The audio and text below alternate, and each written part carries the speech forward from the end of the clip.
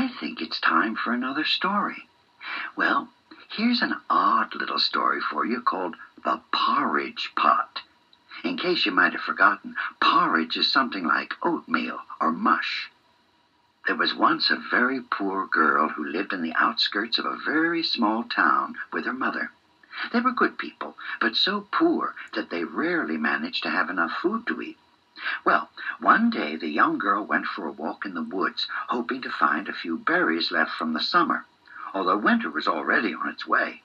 She was having no luck at all when suddenly an old woman appeared. The woman was bent over and wrinkled with age, but she had a wonderfully kind face. She didn't scare the girl at all.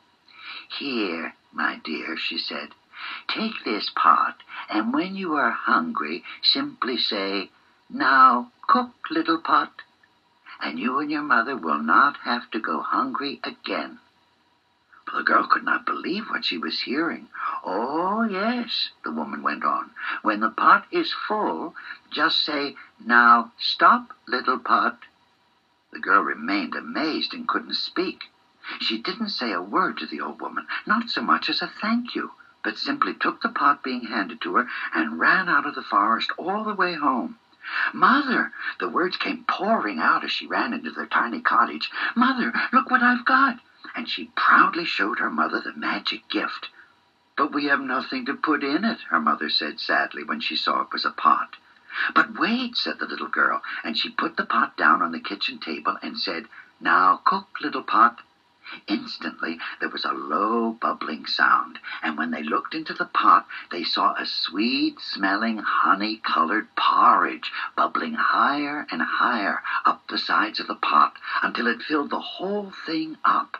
Now stop, little pot, said the girl, and the pot did. Spoons, they both said at once, and they dipped right into the delicious porridge and agreed that it was the best they ever tasted. They could never believe their good luck at being given a pot that would always give them food so that they never had to go hungry again. A life was finally going well in the little cottage, and one day the girl decided to take a walk to visit a friend she'd met. While she was gone, her mother got hungry and decided to use the magic pot. She put the pot on the table and said to it, Now cook, little pot. And the pot did as it always did and began to bubble with the sweet honey-colored porridge. But as the porridge began to bubble up to the top of the pot, the girl's mother couldn't remember the words to use to stop it. Okay, she said, uh, that's enough now. And nothing happened. Stop cooking, please, she said, because she was always well mannered. But manners didn't stop the pot either. What do you want me to say? she hollered at the pot. I can't remember what you want me to say. I don't want any more. I'm not hungry. Can't you see that? What am I doing? she thought to herself, hollering at a pot. But she was so frantic she couldn't help it, because you see by now the porridge had bubbled over the top of the pot and was rolling down the table and out the door.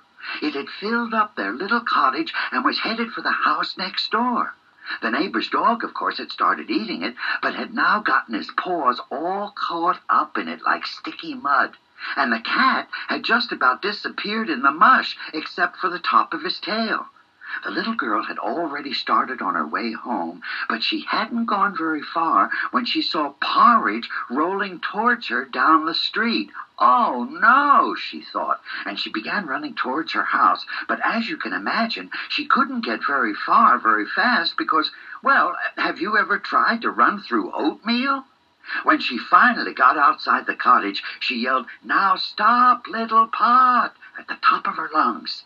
And the pot did stop.